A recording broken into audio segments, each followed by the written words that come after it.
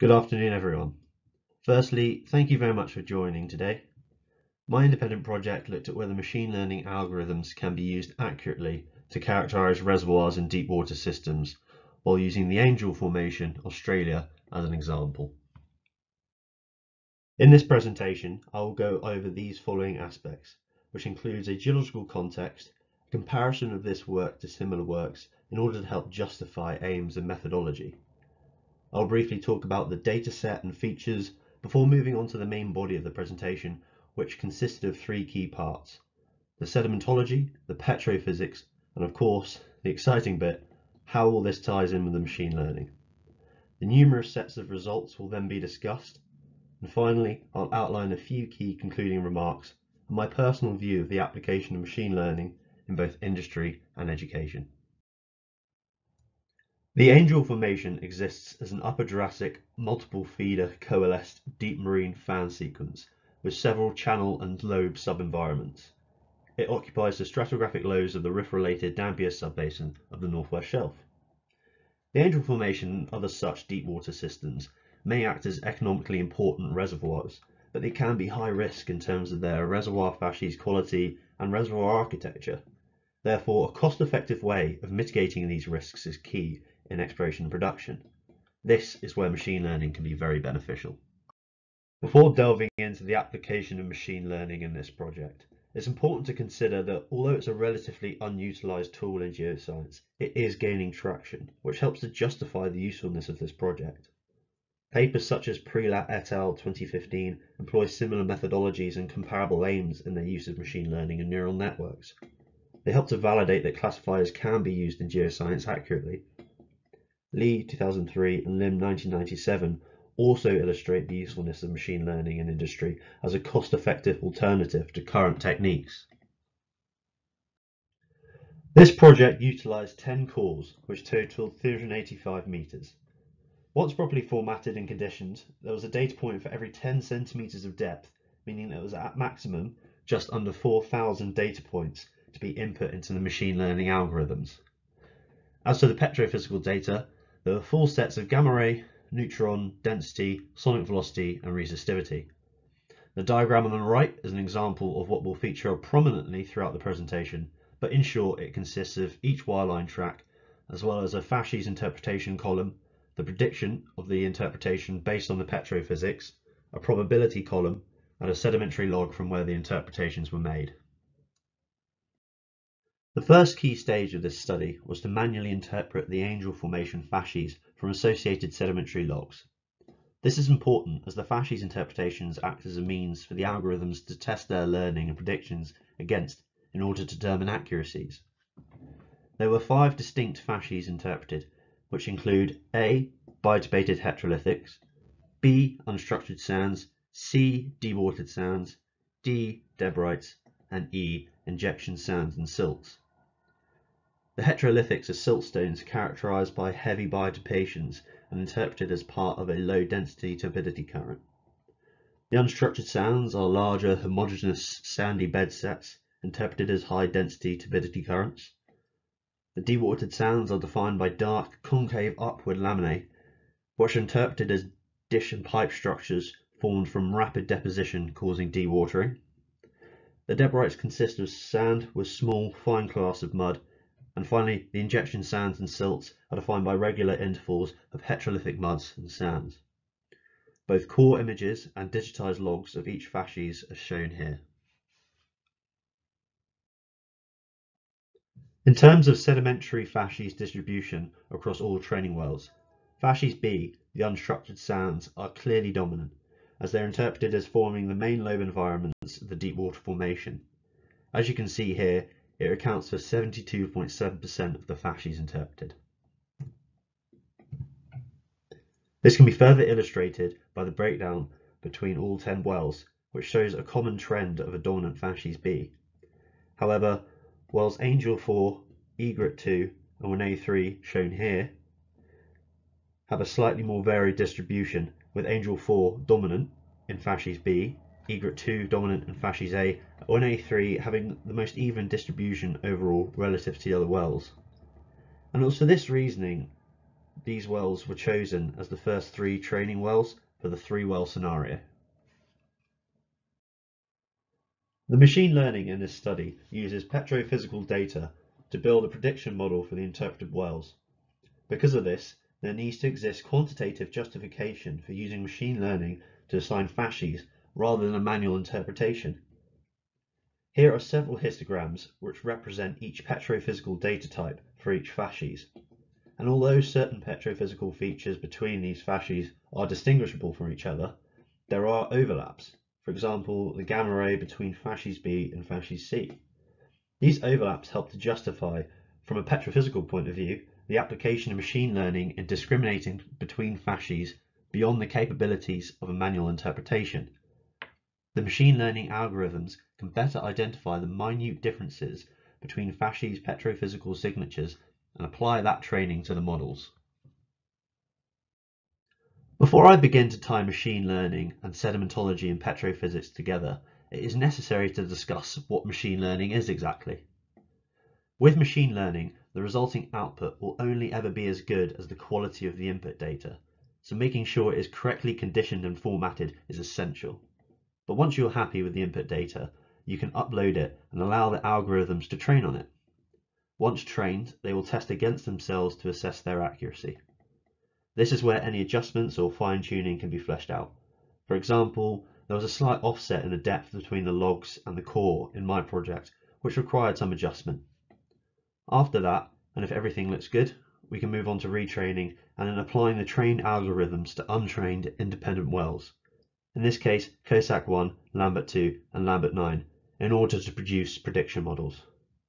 The models will compare the prediction to the interpretation, which gives an optimized classification accuracy as a percentage.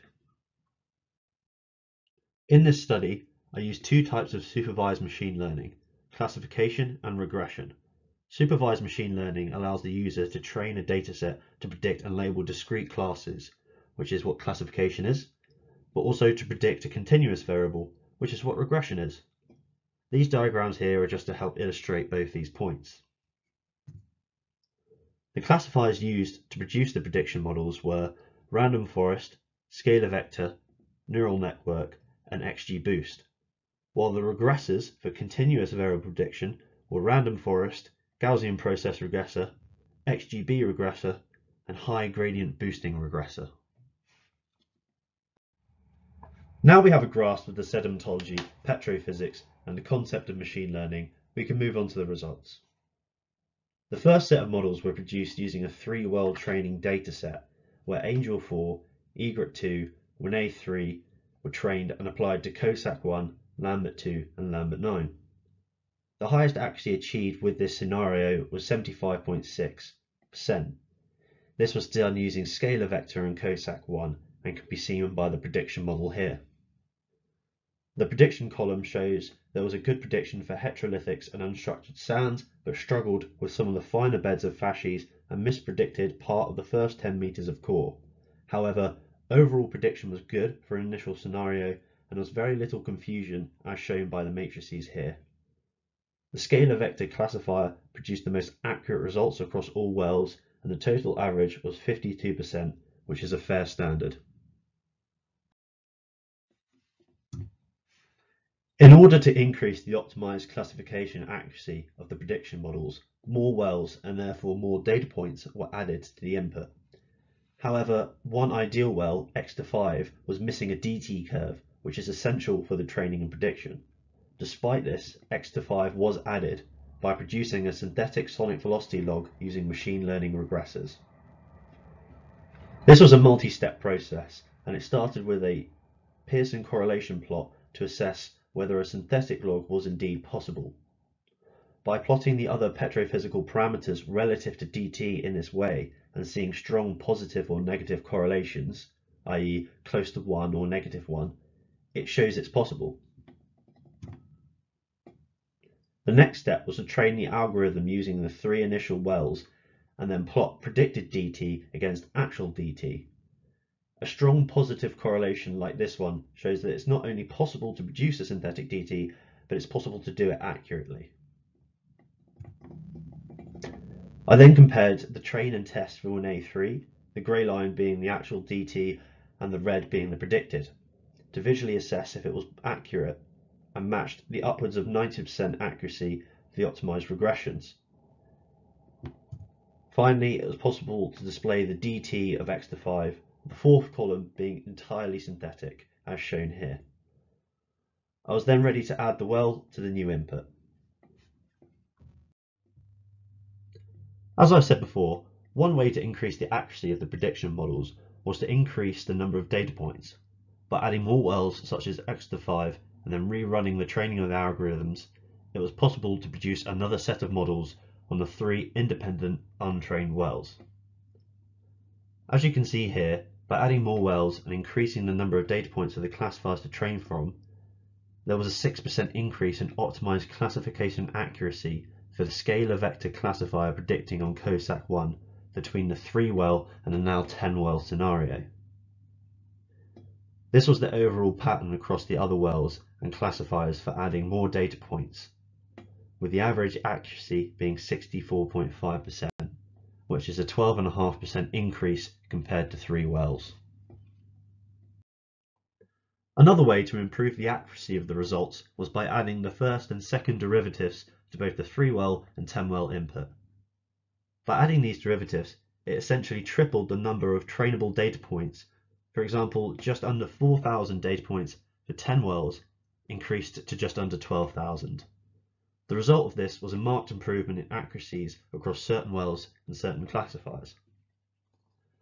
The model on the right is an example from the 10 well dataset, and again Cossack1 using scalar vector, which saw another classification accuracy increase to 89.5%, the highest achieved throughout the study.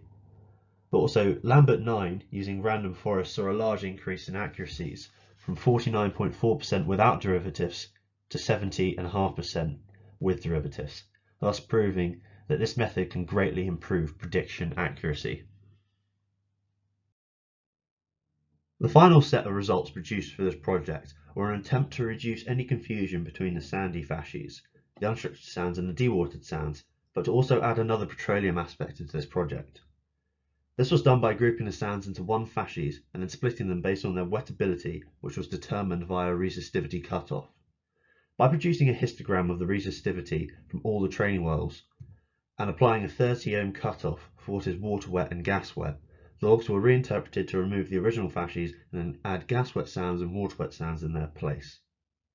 However, the prediction models for this scenario were all very low, with an accuracy here of 39.4%. The confusion between sounds was also not resolved as seen by the matrix.